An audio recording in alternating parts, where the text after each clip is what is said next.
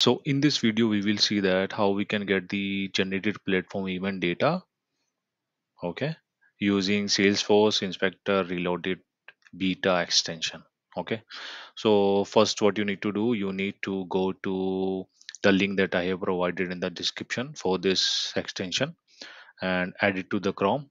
Okay, once you have added, then go to your Salesforce org. So here you can see that I've already created a platform event called testing platform event and it is having one field uh, called account name. Okay? So text field.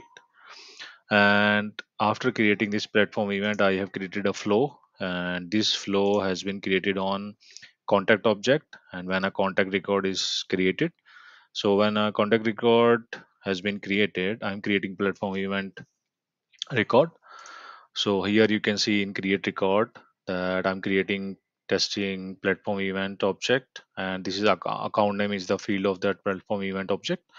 Then i am updating the contact account name okay? Related account name into that account name field and it's already activated okay? So just open your see this is salesforce inspector reloaded and once you scroll down you will see this event monitor. Click on that okay? So here you will see it is showing channel type channel replay from subscribe. So here you need to select custom platform event and then it will show all the custom platform events available. So currently only testing platform event is available. So i just select here and then click on subscribe. See it is showing listening on this event okay so let me create a contact then we will see.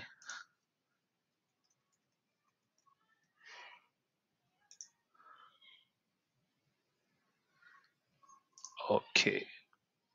New contact mr test contact like say 5 i have test account save it contact has been created. Let's go to the event monitor.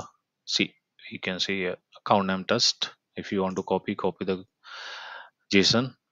Okay so currently this feature is in beta. It's not generally available. So if you are using the old salesforce inspector you need to replace it with this one. So maybe later it will be available generally. So that's it for now. I hope you guys like the video. Thank you so much